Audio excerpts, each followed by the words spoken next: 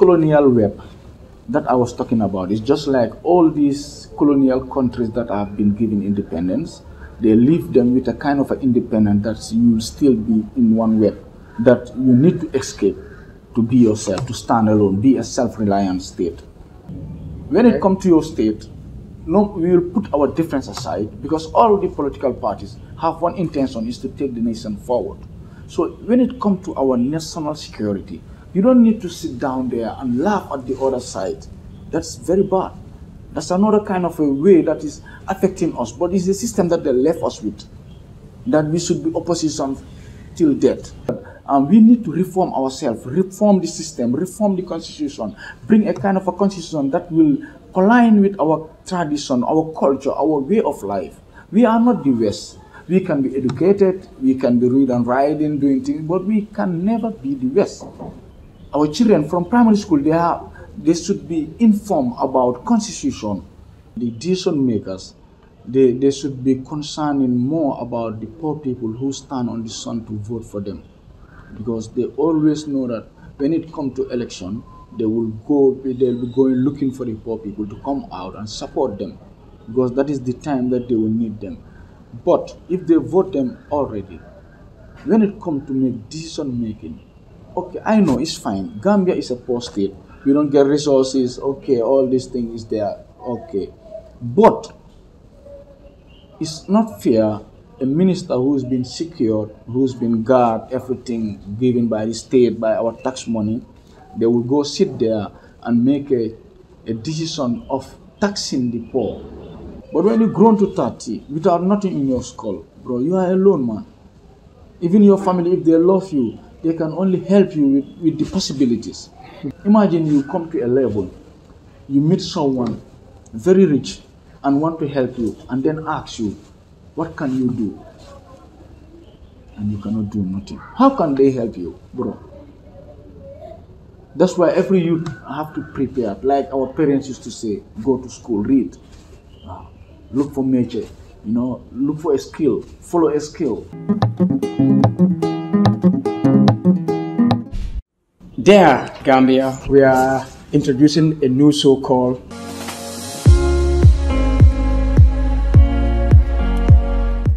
with a wonderful brother called Alagie A. Jallow. Um, I will ask Alagie A. Jallow to introduce himself before we get into the program. Thank you, brother. Assalamu alaikum Gambia. This is Alagie A. Jallow, born in Banjul T Road, Masamba Sise Street, number 6. I went to Better Nursing School and I went to Methodist Primary at Hagan.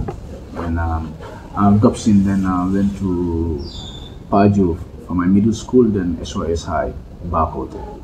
Um, that's my educational career. Um, I start from there. From there, with that education, I used to recite to know what I have to know because only the education can give you ability to research by yourself and find out what is truth and what is not. Um, that is the introduction I can tell right now. But right now, my my work is mediator. Um, I'm a multilingualist, um, and that's my job. And um, I'm a founder member of several organizations, um, and I'm political analyst because I'm a patriotic Gambian and if I'm part of this nation, I have to get my voice on it. So, this. Yes, I have to get my voice on it. I respect that. Um, every citizen has a voice. Yeah. Um, actually, how do you see the Gambia before and now when it comes to development? Okay.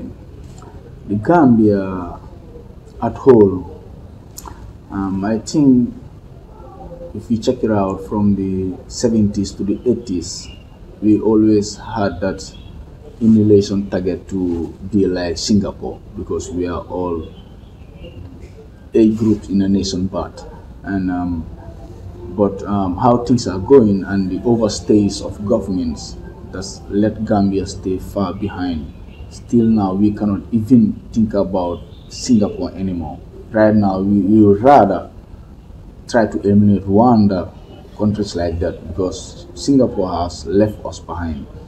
Um, our nation um, have this problem within um, the political system, but it's all started from the colonial system and the post-colonial system that they left us with. You know, these are the things, and it's not only uh, Gambia, but it's the whole Africa. The way I see the situation um, after this post-political, democratical governing system, if we are to follow that system, we are not going out of this web because there is a web I call the post-colonial web, whereby you must have to strive to get out of it to reach your goals. If we remain there only, will, our governments will be depending on taxpayers' money to pay their salary, and that's it. And we will not be going nowhere. Anything that we want will be loan, loan, loan. And this loan we're getting outside, it comes with interest. And plus with a foreign currency, you know, that, that doesn't help us at all.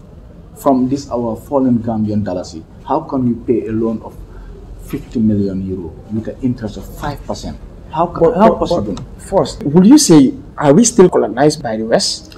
Yeah, um, the, the post-colonial web that I was talking about is just like all these colonial countries that have been given independence.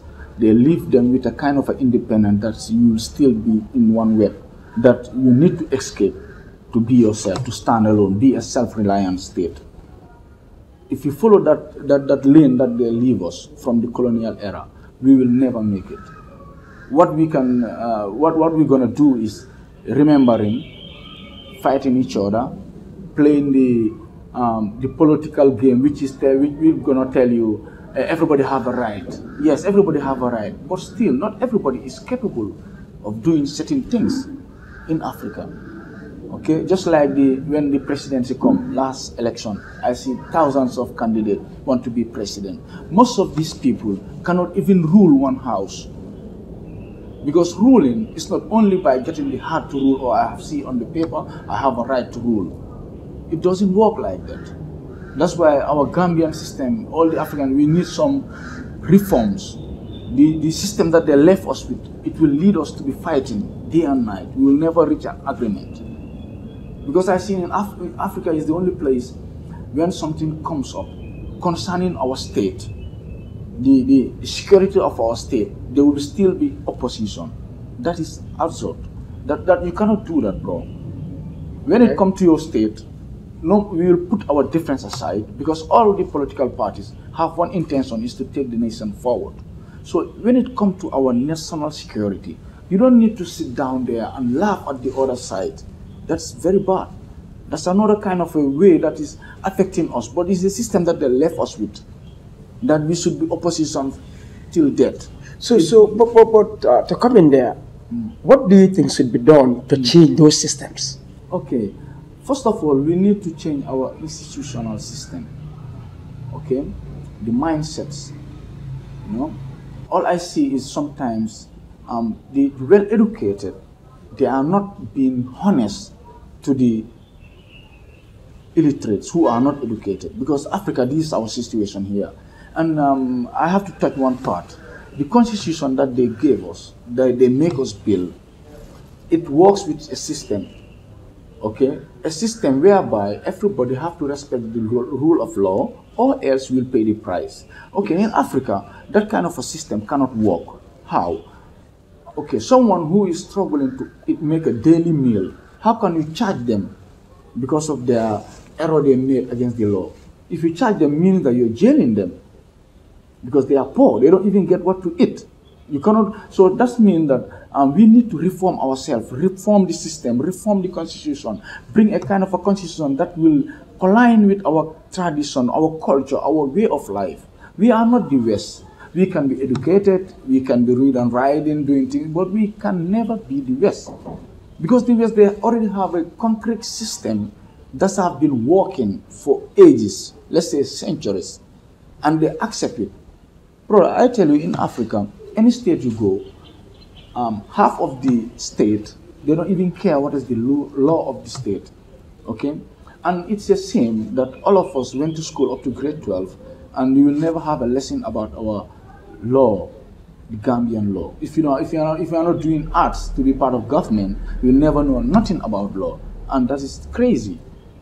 our children from primary school, they have they should be informed about constitution. Let let let be constitutional people. Let let let become people that all of us will accept on one rule and respect it. It is not just okay. Uh, this is son of due, so uh, forget it. We can. When they give you the opportunity to change in the constitution, what are the main things you will change in the constitution? Key factors. Okay, the key factors are first of all, we will bring out the mentality. You cannot put an angle on poor people who don't even have a meal to eat to put them in charges. That means that we are ready to fill up our jails. In the West, with all this kind of a law, they have what they call house arrest. What, what are what are those those charges that they put on poor people? If I'm a real Gambian and I love my country and I face another citizen doing wrong, before I will jump to conclusion to arrest them, or I will try to communicate, try to make them to make them aware that look, all what you do, the law doesn't allow this. You have to be informed. So sometimes in Africa, we find many people in jail who are innocent about the law that they have been wrong. So then I say that the system that they bring us is just that, okay, let's tell it to the educated one and leave the, the, the ignorance in darkness. That's not fair. You cannot take a step like that. If you want to talk about, okay, education system, uh, institutional, only the people who are reading and writing and understanding English can even get this thing what I'm talking about. Whilst we, we just want to jump uh, a leap. We, we are leaping a system that we forget and that could help. Because I, I believe that if the whole state have understood the, the constitution of Gambia, when they are well informed, we have TVs now, we have many TVs. Why not? We have a TV whereby we talk about, especially about the governing system. Why not um, our experts don't come to the TV and talk to the people in our local dialects? We have them. Every office have all type of dialects. So why not they don't come to the people and talk? But what I see is sometimes most of them they they, they take advantage of it because they not give them another advantage of being on top of another one who is equal with you, a citizen of the state. Because we don't have to um, take advantage of our education and then um, oppress the, the non-educated people. So to, to heal all this problem, we need to inform them. If you see, they say that they don't allow camouflage in Gambia. Yeah, They, um, they say that um, they don't allow camouflage in the Gambia for others. You know why that?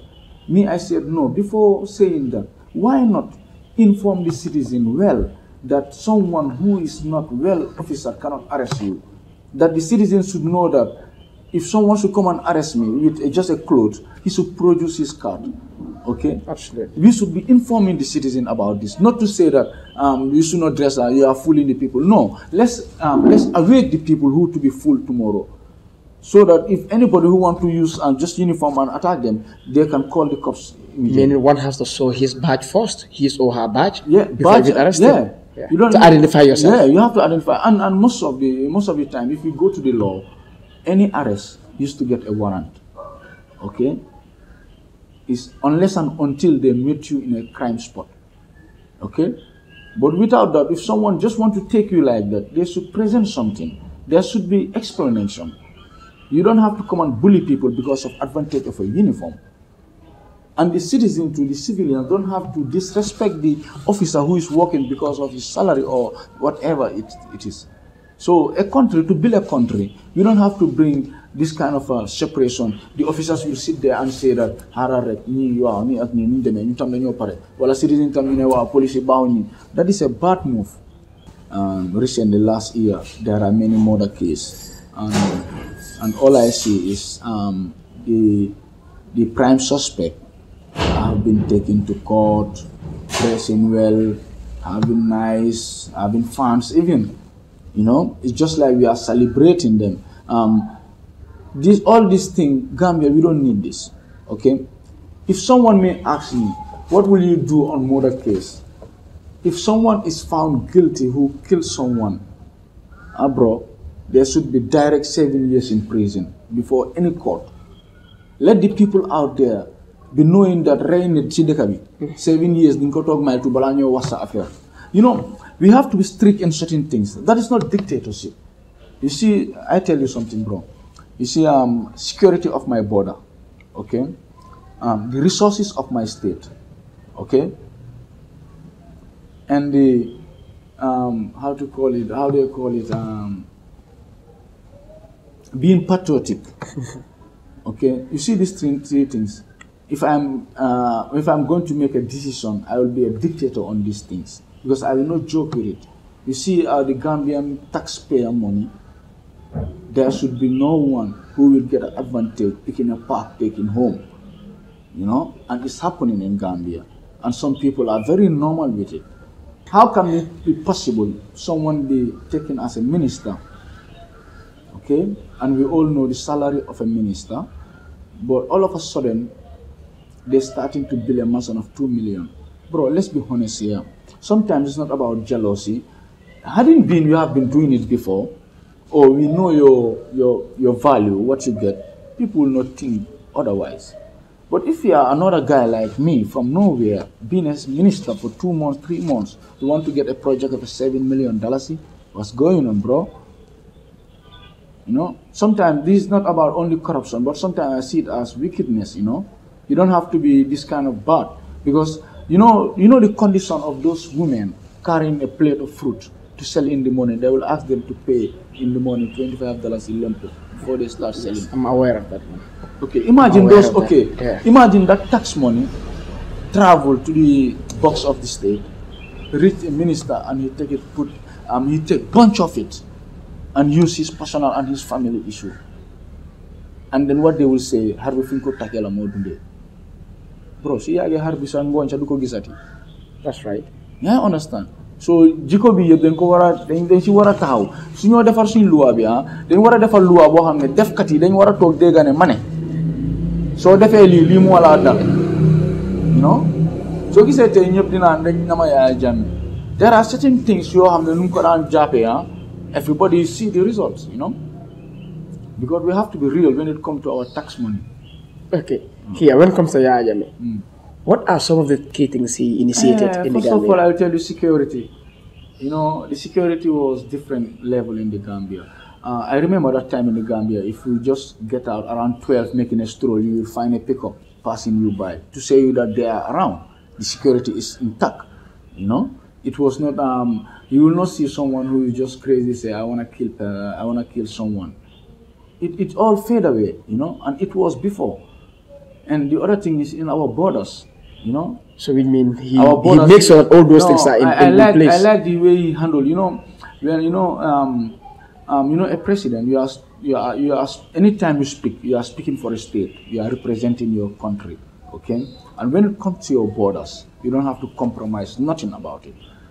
Yeah, because you know why? Try it and go to another state. Then you will know that how those people are serious with their borders. Then you realize that Gambia, we have to be more tough on our borders.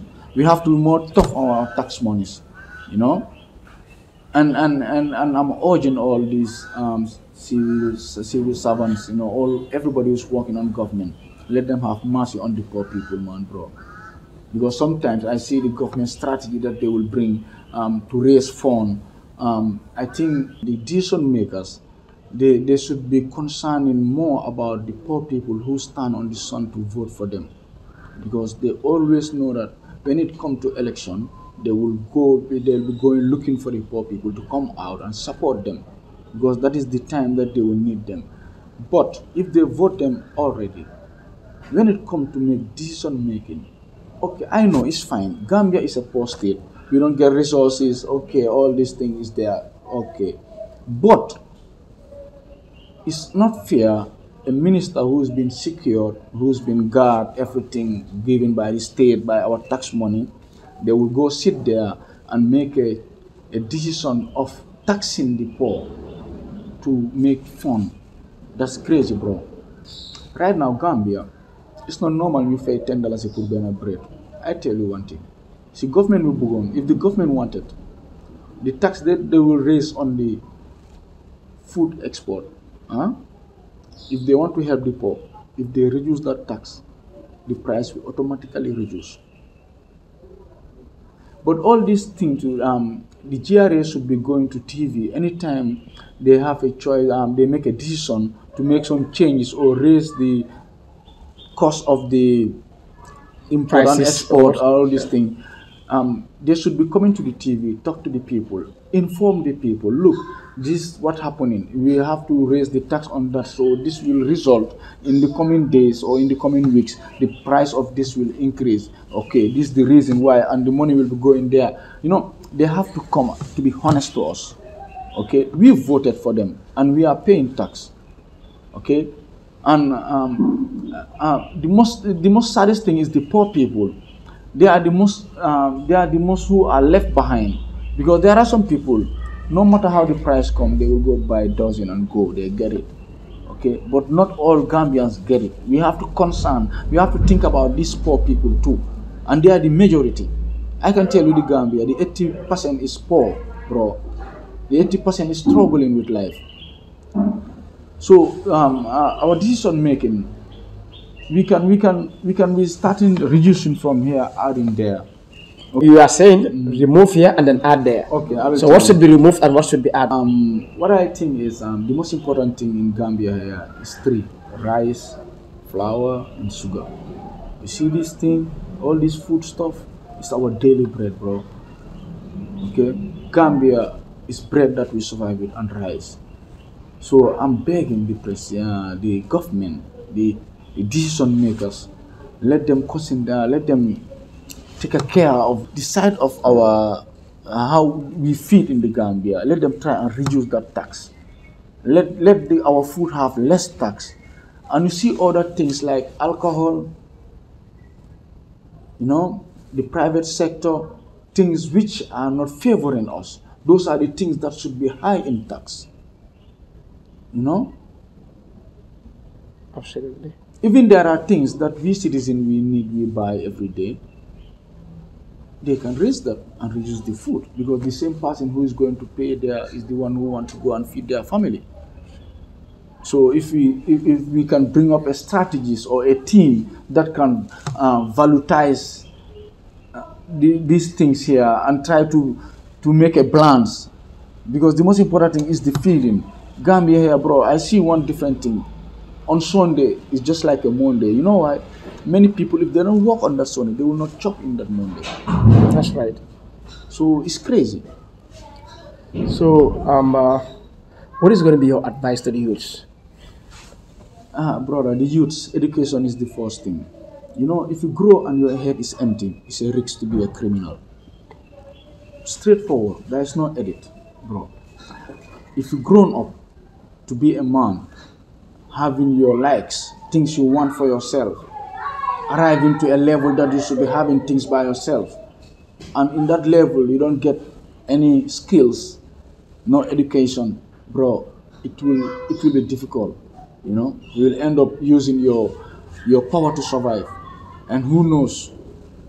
So the first thing for the youth let them put the party aside and get the brain filled up with stuff skills and intelligence because this life this generation is different with the past one.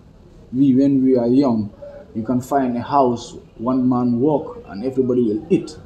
But nowadays in gambia everybody work and still things are hard. You know it's different.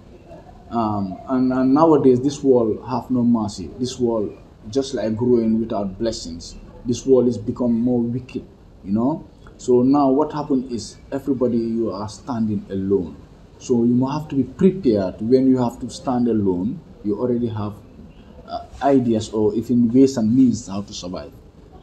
That's why the youths my brother anybody who tell them to read it's not it's, it's not telling them the bad thing. Let them hold that thing man. Bro fii soo magee amuloo métier jànguloo dem nga. Danga nekka waxkati waaw wala nga nekka waaw. Koo you will not make a choice. You will not make a decision generation boobu leen you, this generation if you cannot put anything on the table you have nothing to say. Even your choice what you want if you don't get the cash you will not make it. So what will help you with that is to as a young person get the education get this stuff. Hale dafa jànga hale mbiri hale mooy jànga. Any if you are young your whole mission is training and learning. Because a storm is coming when you grown up to 30 whereby nobody will even care where, whether you sleep or not because when you kid Your family will take care of you. If you are late, they will look for you. Yes, you are a kid, boy. You are a kid. But when you grown to 30 without nothing in your skull, bro, you are alone, man. Even your family, if they love you, they can only help you with, with the possibilities.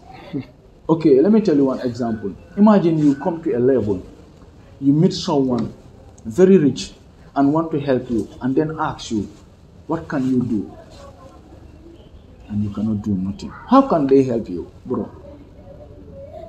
That's why every youth have to prepare. Like our parents used to say, go to school, read, uh, look for major, you know, look for a skill, follow a skill. Anything that you start from zero, it will end up a professional. You know, so that's why for the youths, my brother, if you see many many ignorant in street, eh, I think the education is missing somewhere and the skills because the survival of this generation is skills and education. Without it, my brother, even though you you are born with jewelries and it will all fade away because it's a different generation nowadays. It's a different generation nowadays. So, how do you see the future of the Gambia? Okay, the future of the Gambia is very open. It's very, very, very open. Um, respect um, to the last election with all what happened here and um, before next election, um, we pray that God may give us peace and um, shower us with blessing until the next election. Because um, uh, right now we are in transitional system. You know, after 22 years of another president, it's just not easy to come and you know bring back things to that, especially when the country is poor. Gambia is poor, bro. We are poor. That's the basic fact. And um, and when we are poor, we don't have many. That's why we don't need corruption. su nekkee ne tuuti lañ am ba pare ñu bugg a koo saaga bro kañ la ñoo dem Dina dina de. do you know that um, with all the salaries we are paying our government from the cleaners to the president these salaries are our tax money okay? That's why i, I don't like the idea that um, the, the ignorant will be left behind that um, they, they should not be informed that they are the one paying the president. Look if you want a country to be sweet let the president know that we are paying him. Let the police know that we are paying them. And let the civilian know that the police is protecting them. This is the reality of a nation you know why we have to be fighting why we have to be having difference? The political game is a game of brothers who will see who will top? And if the other top doesn't change the fact it's still one house. Just like our family house. We can be fighting doing whatever. At last last we will sleep together. And we will eat right. together. That's right. that's family. We have been fighting with our sisters brothers. But at the end of the day you will go to the same house you will eat the same table Meaning that patriotism is lacking. yeah, um, um, sometimes our ego, you see, my brother, your personal things, you have to keep it to yourself when it come to a national issue. We have to address this. Yeah? Uh, anybody who get your personal issue with someone, keep it to yourself and go solve it with someone. Don't use our tax money to solve your personal ego problems. We don't like that. And we should not even allow it. You know? For the Gambia, brother, the coming years, what the luck is, um, I see last election, I see many signing youths who are coming to the game because we Gambia, we are known of having a politician, only old politician, you know.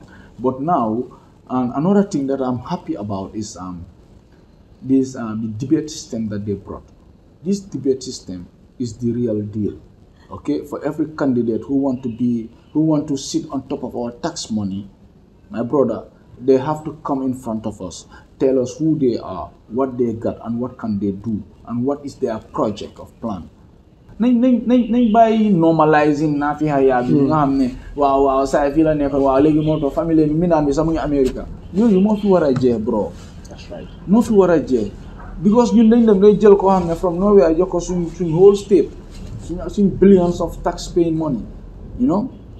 It's not done. Let's try to bring in well pre- prepared people who are ready for the game who are ready for the team who get the country in heart. I'm not talking about those who get a plan to, to, to build their city where they came from. We are not here for that. Gambia is a whole state and a smaller state, and it could be treated as one home. Why you want to cut it and cut it, bring in differences? With one state,